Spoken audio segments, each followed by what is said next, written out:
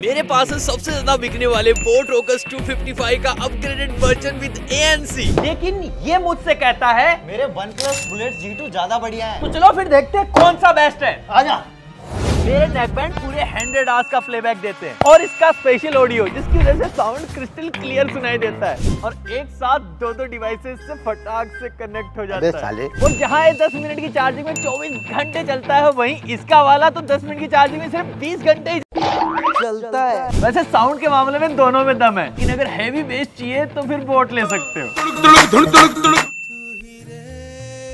और बोट वाले का 32 डेसिबल का नॉइस कैंसिलेशन पाड़ू है। ये रोड पे भी बाहर की आवाज़ नहीं आने देता। हेलो हेलो आवाज़ लेकिन? इसके वाले में तो एएनसी है ही नहीं। बाकी इसको बारिश की बूंदे और पसीना दोनों से फ़र्क नहीं पड़ता क्योंकि आईपी एक्सपो सर्टिफाइड है। तो ये बोट की नेक बैंड तो जीत गई। बाकी ये इस प्राइस रेंज में यहाँ पे मिल जाएगा।